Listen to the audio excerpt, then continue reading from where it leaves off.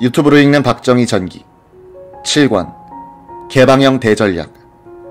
대일밀사. 박태준.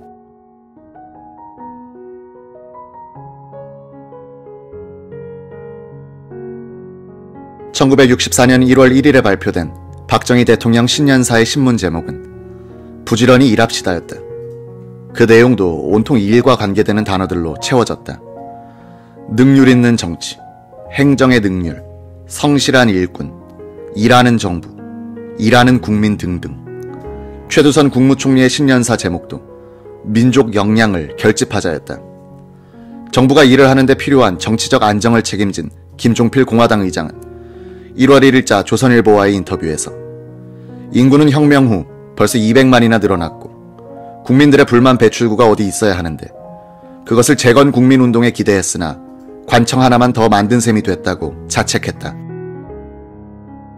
경제정책에서도 계획경제에서 자유경제로 후퇴가 있었다고 지적되고 있는데 자유경제체제를 기초로 하여 경제계획을 필요로 하는 부분은 계획적으로 하고 나머지는 정부 간섭을 지향하는 혼합경제로 나아가겠다. 근대화를 위해서는 국내 자본 형성이 중요하지 않은가? 말은 쉽지만 민족 자본 형성은 어려운 것이다. 농민에게 더 이상 내핍을 요구할 수도 없고 여기에 한일 문제가 관련되는 것이다. 기자는 결국 근대화의 열쇠는 일본 자본의 도입에 있음을 시사했다고 평했다. 김종필은 야당에 대해 이렇게 말했다. 백지에 우리가 원하는 대로, 국민이 원하는 대로 그림을 그려야겠는데 누가 그 백지를 빼앗아 가거나 먹칠을 할 때 우리는 어떻게 할 것이냐이다. 김종필 의장은 1월 2일 아침 민정당 대표 최고위원인 윤보선의 자택을 찾아갔다. 박정희 대통령이 전하는 세단 한 대를 전달했다. 몸도 불편하시고 할 텐데 외출하실 때는 승용차를 타셔야 할 게 아닙니까? 차 한 대를 놓고 갑니다. 윤보선은 다음날 이 차를 돌려보냈다. 1월 4일 신문들의 사회면 머릿 기사는 제2 지나모 침몰 남태평양 사모와서 참치 잡다가 승무원 17명 행방불명이란 기사였다. 7일자 신문에는 속보가 실렸는데 23명 중 두 사람이 살아났다는 것이었다. 배가 파도를 맞아 침몰하자 선원들은 모두 바다에 뛰어들어 고기잡이용 유리공으로 뗏목을 만들었다. 거기에 매달려 표류하던 중 선장은 수평선 너머의 섬이 보이자 수영에 자신 있는 선원 4명을 자원으로 뽑아 섬을 향해 헤엄쳐 가도록 했다. 그 가운데 두 명이 10시간 이상 헤엄친 끝에 섬에 도착했다는 기사였다. 원양 어장 개척과 해운 선원들의 해외 취업이 본격화되면서 이런 선박 조난과 선원 떼죽음 기사는 반복된다. 박정희 대통령은 1월 10일 국회에 나와 연두 교서를 발표했다. 그는 정치인의 책임은 모든 동포가 다 먹고 살 수 있는 방도를 강구하는 것이라고 정의한 다음 우리가 극복해야 할 난관은 세 가지라고 말했다. 공산주의와 대결하여 민주주의의 승리로 조국 통일을 성취하는 길, 빈곤을 물리치는 길, 국민의 사고를 지배해온 의타심과 파벌 의식과 대결하여 자주성을 확립하는 길. 과장된 몸집도 어투도 쓸 줄 모르는 박 대통령은 48분간 연두 교서를 밋밋하게 낭독. 박수는 시작할 때와 끝날 때밖에 나오지 않았다. 의원들은 하품하거나 담배 연기를 자욱하게 피우면서 무료함을 달래는 모습이었다. 이 무렵의 어느 날 저녁 박 대통령은 최고회의가 해산된 후 군에 복귀하지 않고 집에서 쉬고 있던 박태준 전 최고위원을 청와대로 불렀다. 박 대통령은 유경수, 근해, 근영, 지만 등 식구들과 함께 자리한 식탁에 박태준을 앉힌 뒤 반주를 들면서 이런저런 이야기를 하다가 한일 관계에 들어갔다. 경제 개발은 해야겠는데 모든 게 돈 문제로 귀착된다. 당분간 세수가 늘어날 것 같지도 않고 국가의 신용이 높지 않아 외자 도입도 어렵다. 유일한 방법은 이미 합의한 대로 일본으로부터 무상 3억 달러, 유상 3억 달러의 청구권 자금을 받아 쓰는 것이다. 그런데 일본 내의 정치적 사정으로 국교 정상화 협상이 진전되지 않고 있다.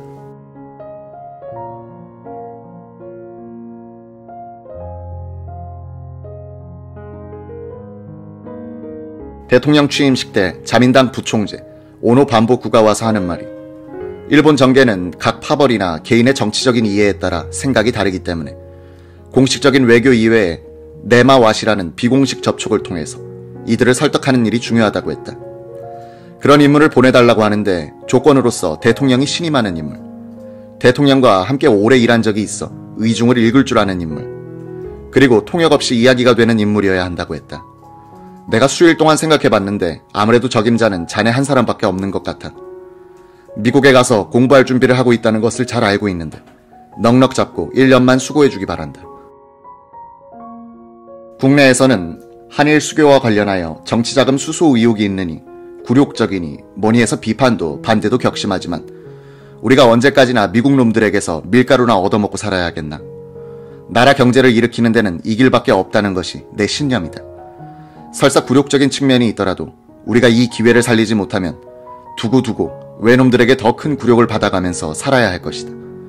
나는 내 정치 생명을 걸고 이 일을 추진할 생각이나 자네도 그쯤 알고 일해주기 바란다.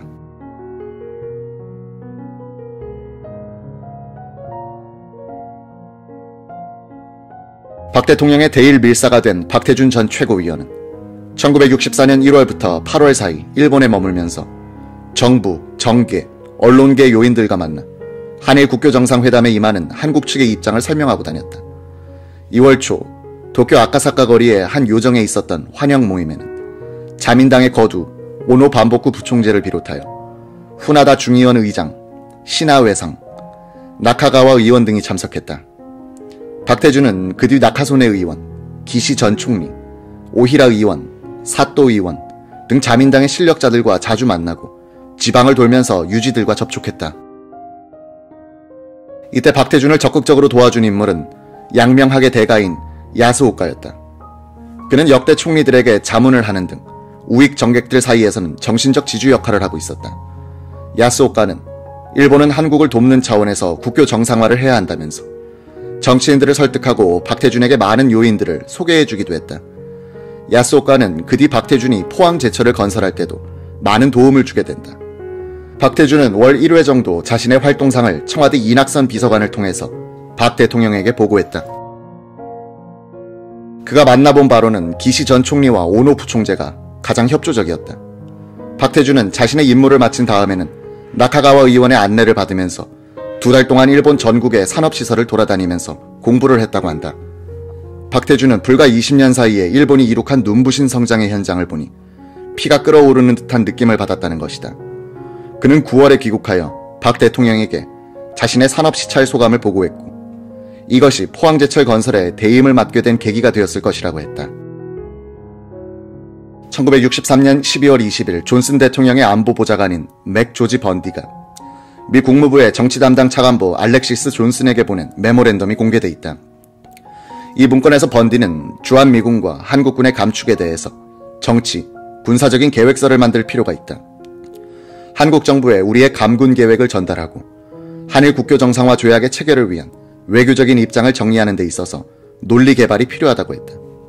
번디는 존슨 대통령이 이 문제에 대해서 행동을 취하기를 바란다면서 이런 감군과 원조 감축이 한국에 미칠 충격파를 감안하여 신중을 기하라고 권고했다.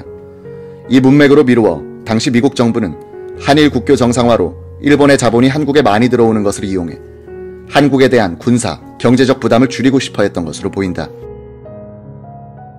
1964년 이른봄 주미대사 김정렬에게 박 대통령으로부터 밀서가 내려왔다.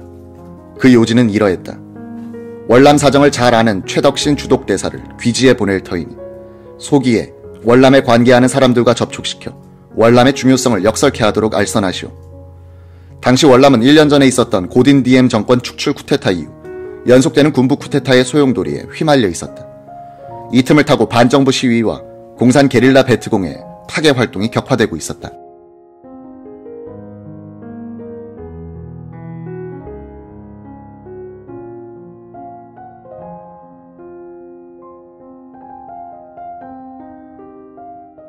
이때만 해도 미국 정부는 군사 고문단 정도만 파견해 놓은 채 본격적인 전투병력 투입 여부를 아직 결정하지 않고 있었다. 며칠 뒤 최덕신 대사가 워싱턴에 왔다. 나중에 북한으로 넘어가 그곳에서 생을 마감한 최 대사는 김정렬에게 박 대통령의 특명을 구두로 전했다.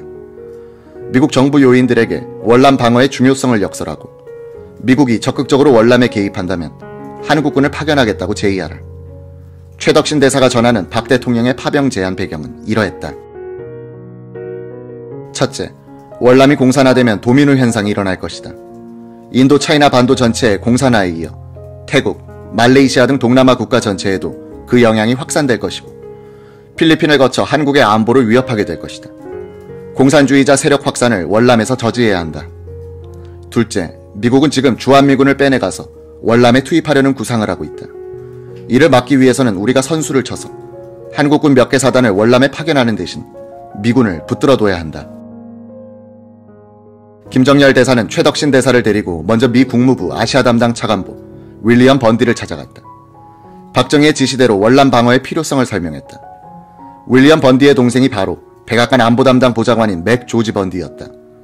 월남 문제는 그의 밑에 있는 포레스털이라는 사람이 맡고 있었다. 김 대사는 번디 차관보에게 부탁해 동생을 통해 포레스털을 만났다.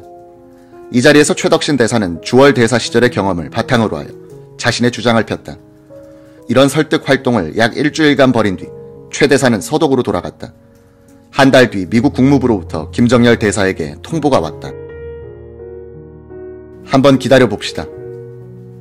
김 대사로서는 다소 실망스런 답이었다.